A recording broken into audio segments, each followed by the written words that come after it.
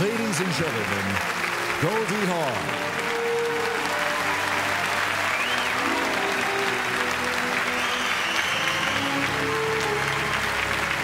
Meryl, you are a special effect.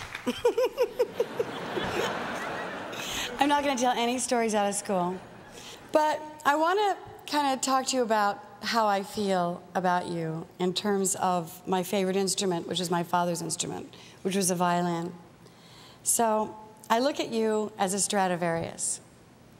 And each one of your strings represents aspects of your life that you have lived with great artistry and great passion. The first string is your family. You were the most devoted and the most loving daughter that I have ever known. And your mom and dad are watching you tonight and taking great joy in this moment.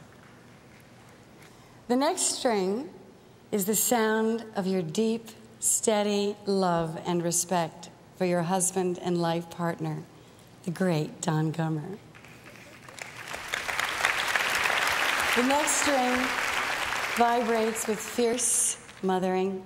You have loved and nurtured your own children and family without compromise. And finally, the last string that represents your whole uncompromised, authentic self is that you have never injured your instrument, you've never taken it for granted, you've played it with all the reverence in all the aspects of your life. Honey, I listen. I could have compared you to a harp but there were 72 strings. And then I thought of a wood instrument, and then a wind instrument. But whatever it was, I love you, baby. Way to go.